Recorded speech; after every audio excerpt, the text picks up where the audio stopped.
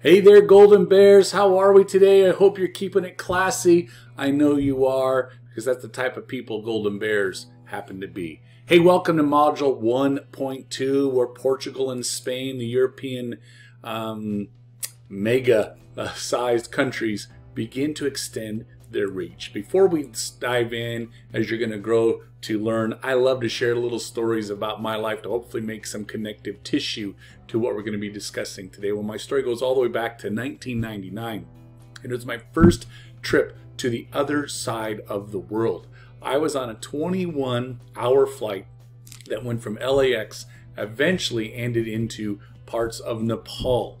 I was in this town called Dharan City. It was the third largest town in Nepal and had great opportunity of visiting all sorts of, of, of places there. And, and on one such visit, we were traveling by bus and we were able to get off the bus and cool off underneath the shade of these big trees. And I asked my interpreter if I can go over and, and, uh, you know, talk to different people. And while there underneath this big tree to avoid just the pummeling heat of Nepal in this August day, um, was a man making this uh, wicker wicker basket chair type thing that kind of curved like this.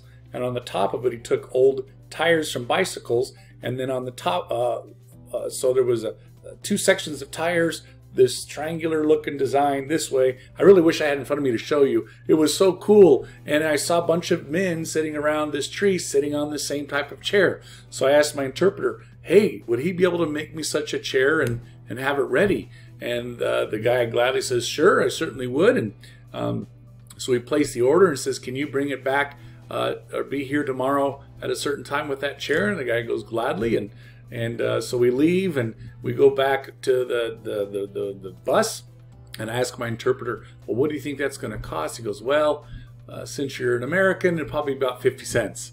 And I thought to myself, oh my goodness. And I'm like, how can something, you know, be that little? So the next day we go pick it up. I asked the guy, how long did this, this um, chair take you to make? He goes, oh, about eight hours. And uh, I go, okay, how much? He goes, well, 50 cents. I just put a lot of effort into this, he, he tells the um, interpreter. The interpreter kind of rolls his eyes, and I gladly gave him uh, $2 uh, for the chair as a way of just showing kindness, generosity. Say, how is that possible? An eight hour day for 50 cents? Well, in 1999, in this part of Nepal, the average person made only $250 a year for their income. How is that possible?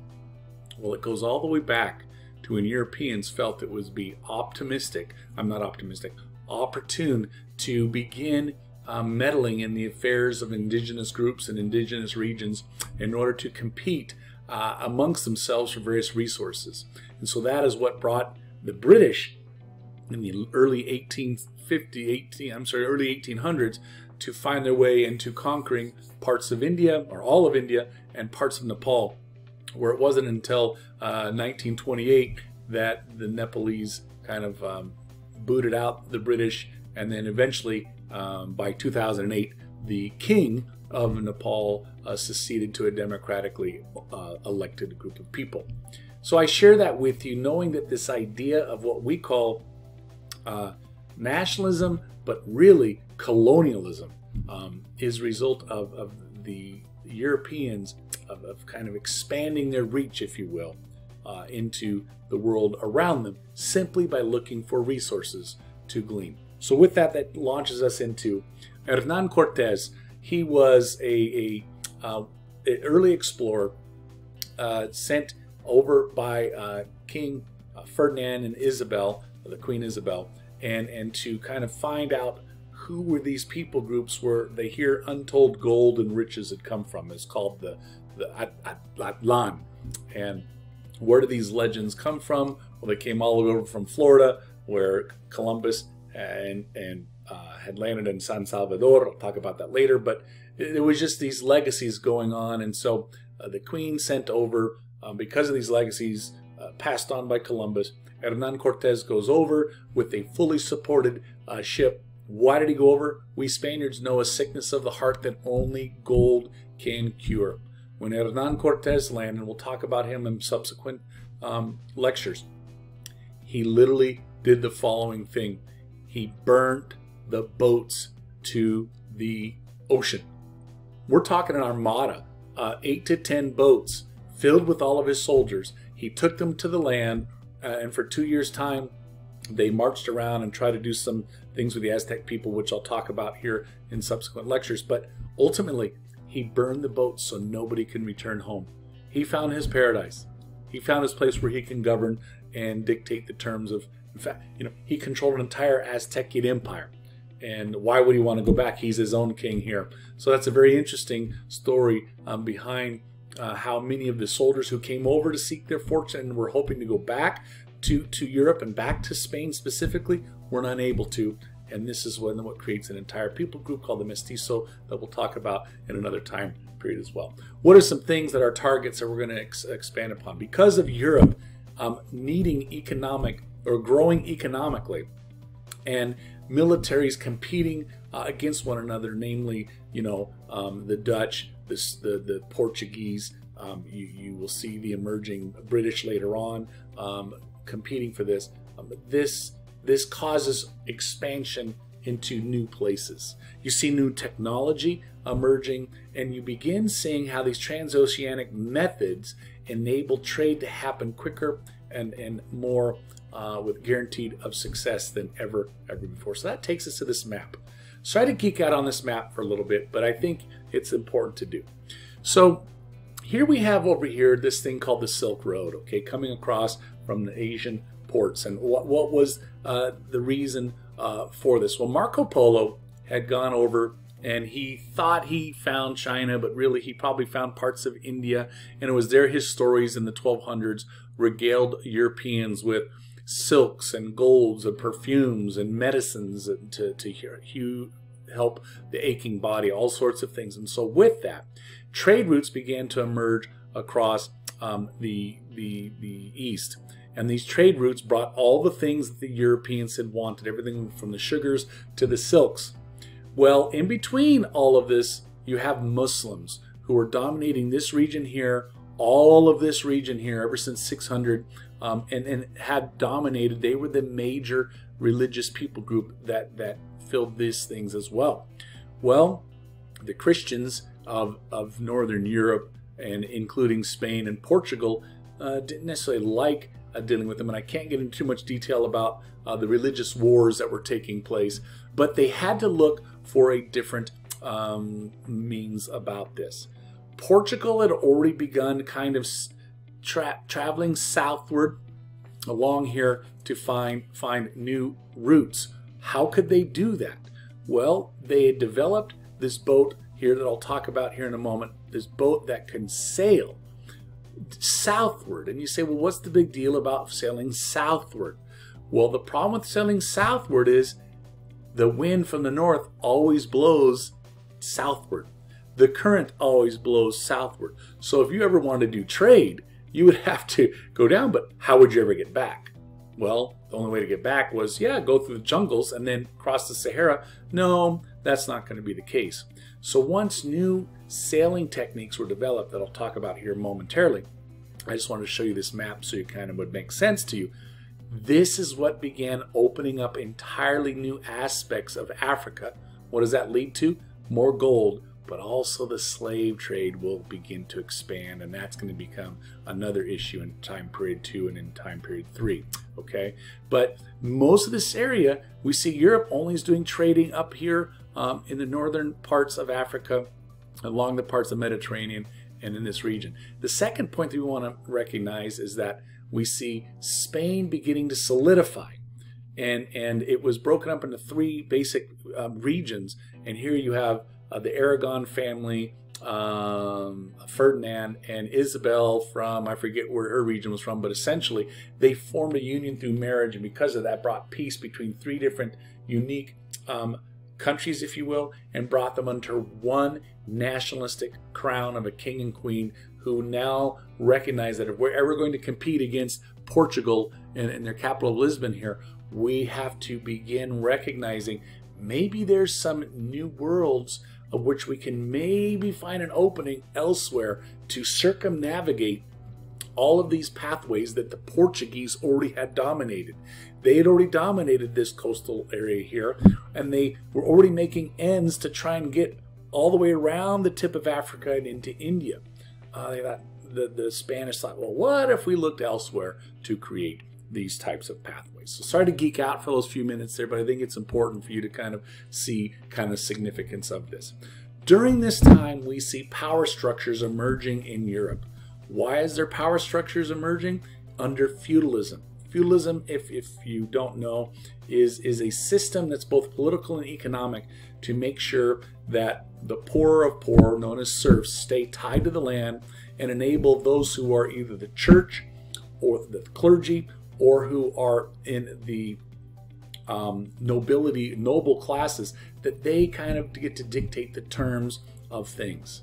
Uh, well, during this time, however, um, with the growing Renaissance and the opening of the printing press and, and new inventions, we began seeing challenges against this type of structure in Europe.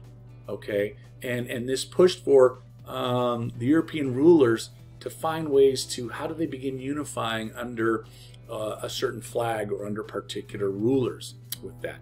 In order to fund their political plans and ambitions, they had to find new trade routes and find ways to eliminate the middlemen. Who were the middlemen? The Arabs or the Muslims who were making all the money bringing things across the Silk trade route, um, or this or the Portuguese who were sailing south along the eastern coast of Africa. They needed to find new avenues and new opportunities. At the same time, we begin seeing the missionaries bringing back new these missionaries that had gone to India, these missionaries that had gone to China, these missionaries that had gone to um, other Southeast Asian regions.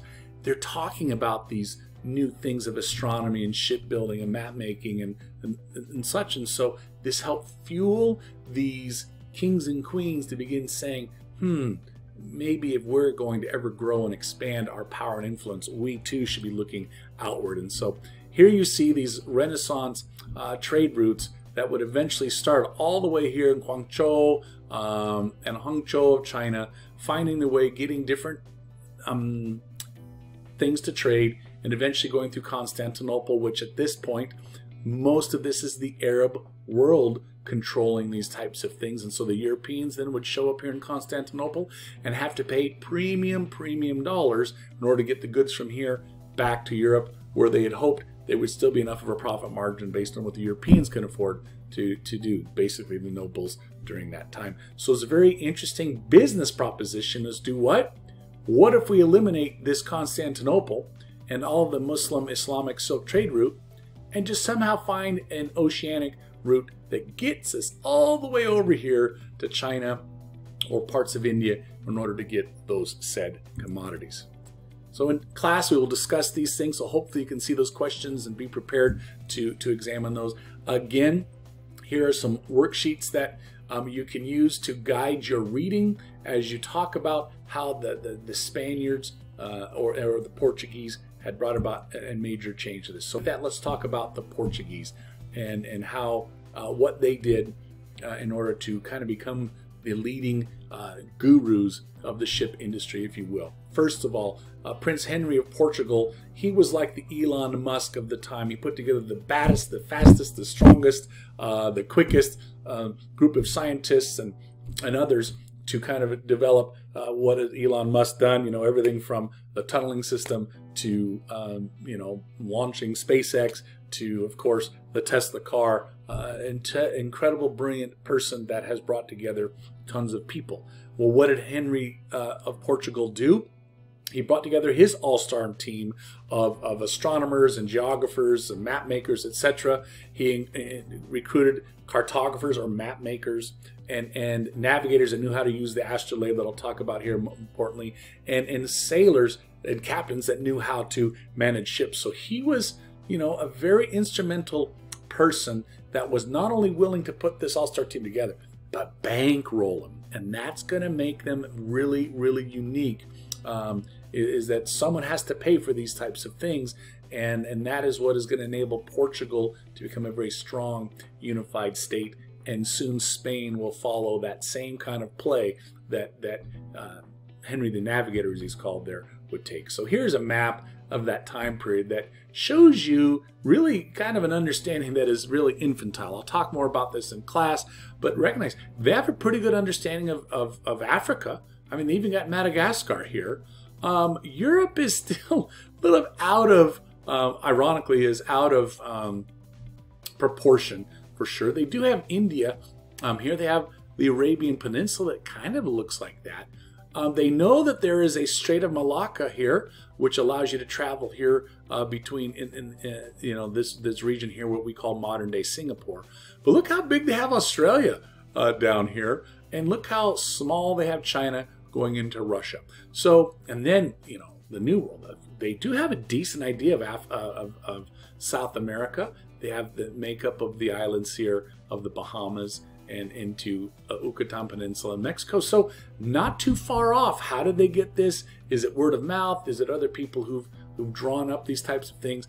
But using these maps, they had a pretty good idea of that where they were going, and then for sure that there was not a place where they were going to fall off the end of the world like Columbus thought he was going to do um, after that. So another aspect of how they pursue this long distance trade, it's called the caravel. And the caravel is a unique boat design that allowed them not just to go south on the map like I showed you earlier, but it enabled them to go back up against the current by doing this zigzagging thing. And what they really discovered is they can go all the way out to the Azores. That's why still to this day, Spain, or I mean Portugal, uh, is in control of the Azores. But they would go all the way from Africa, tack, maybe all this way in one side of the wind. So it's kind of cool that they can use these sails to capture a northern blowing um, wind, but still sail north into it and then tack back. And then they found themselves hitting right into Lisbon. Pretty cool uh, design. And that these are the boats that were used by the Portuguese and eventually the Spanish and then eventually the British and the Dutch, etc. That were able to take these longer voyages that were not even dreamed possible. Then we have the astrolabe, which is interestingly designed by the Greeks but it was actually used by the, the Muslim population initially in 600 because if you are familiar with the, the, the five pillars of faith of the Islamic um, belief system, that you got to pray to Mecca uh, five times a day. And if you're out traveling on the Saharan desert, or if you're out traveling by boat somewhere, or if you're on the Silk Road, how do you know where Mecca is? Well, you use this astrolabe to look up at the stars and then use this with the horizon line, and pretty much that will give you an idea as to where Mecca was. Well, the sailor said, Well, if we can use that to navigate land, why couldn't we use that to navigate along the oceans? And this is what enabled them to kind of oh, open up the new ideas that maybe we can really get places uh, and follow a roadmap, if you will, guided by the stars to duplicate finding these ports of call as we go. And as I mentioned to you earlier, is because of these astrolabes and because of the caravel, it was the Portuguese. You need to hear this from me. Portuguese, Portuguese, Portuguese. They were the first European people group that on a massive scale began enslaving people from West Africa. They began discovering as they went south along the coast of Eastern Africa um, of, I'm sorry, Western Africa, that they, they would find uh, people who've gone before them on a smaller scale who were Arab traders and that would trade with chiefs of um, different African tribes. And they would they, they duplicated what the Arabs and the chiefs had done, but they said on a grander scale. And so it was the Portuguese that not only began getting gold and ivory from Africa, but also these enslaved people groups that they would then take to different parts. Who would be the different parts? Essentially all of Brazil, or as we know, South America, and then the Bahama regions will be slaves will be brought over for the sugar industry that we'll talk much about later on in a different time period. But you need to recognize there's reasons for these slaves to come. So it's not the British that brought them over first. It wasn't the Spanish that brought them over first. Okay, it wasn't the Dutch. In fact, for the most part, the Dutch were pretty good to it. Um, it was the Portuguese that had brought them over to the New World at that time. Well, Spain now is frustrated. they want to get into the mix. And so, as I alluded to earlier, um, they, they begin, Isabel and uh, Fernandez, they begin forming a nation state called Spain. they recognize that the Islamic uh, religion, they cloak it as religion, um, is impeding their ability to actually make a profit. And so uh, in begins the Inquisition, um, not only of, uh, of, Christians in their home country, but also this uh, anti-Islamic uh, slam. And so um, it is here that we'll begin um, seeing some interesting things taking place in Spain that is recognizing uh, that they want to begin looking outward. And so they look for trade uh, with Africa, India, and these Asiatic lands. But um, they they had it mostly for um, they, they cloaked it as a religious uh, aspect, vastly different than what the Portuguese. Portuguese it was purely economic. There was nothing about religion at all, but it was the Spanish that came in with this mindset that well, let's bring Christianity along with this uh, to help validate as to why we're going to create new trade amongst these people. So here you have Galileo in the 1600s who um, was arguing that no, the world in fact was not, uh, you know, that, that was that it was not the center of the universe, but it could be possibly the sun is the center of the universe, and this went against what they believed or perceived to be the biblical uh, truth to the matter. And this is, of course, why the church stepped in and, and this Galileo trial took place in 1633 of this heliocentric astronomical model uh, that was at its place to where we see ourselves in the solar system. And, and this came about as a result of the early part of the Renaissance, but it was these challenges that was taking place in, in Portugal and Spain that was creating some kind of different uh, kind of confusing times. Well, as we move forward, we have the third point here is that Portugal and Spain now are in competition.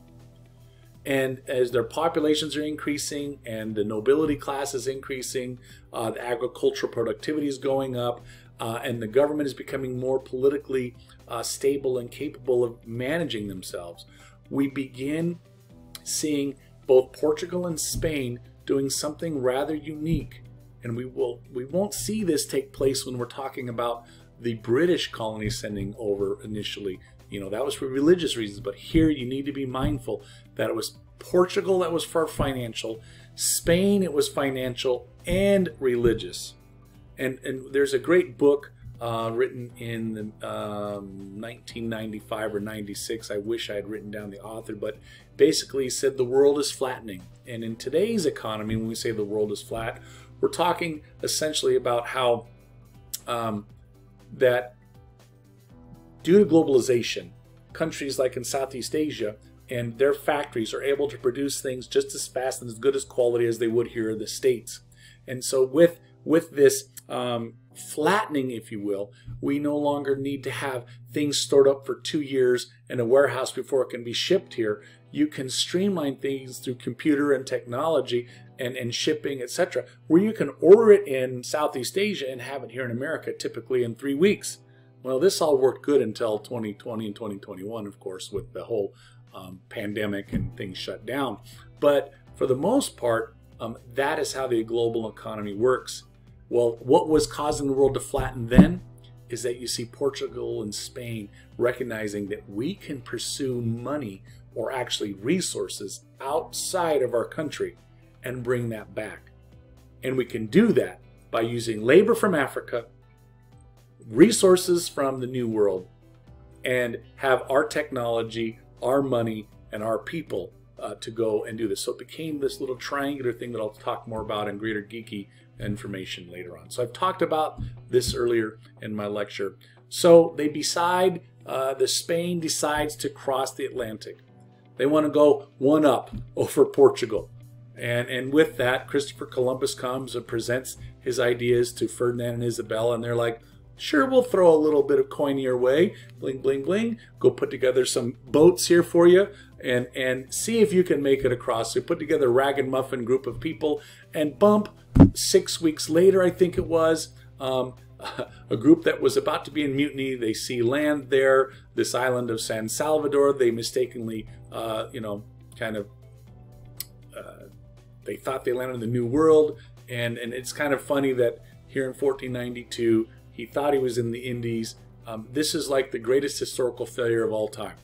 And, uh, and what was the failure is that Columbus then went on to tell others that for sure there is a river system or an ocean system will allow you to um, bust through here and get to uh, uh, uh, India and you know onto China rather quickly. Well, that was the big blunder. No, what he discovered was in a completely different new continent, as you know, and uh, there was going to be no route that would go through until the Panama Canal uh, was opened uh, during that time.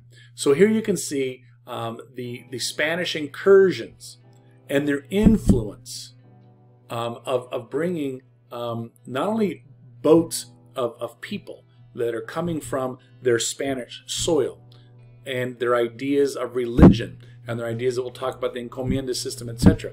But they're also going to begin um, showing new routes to the Portuguese.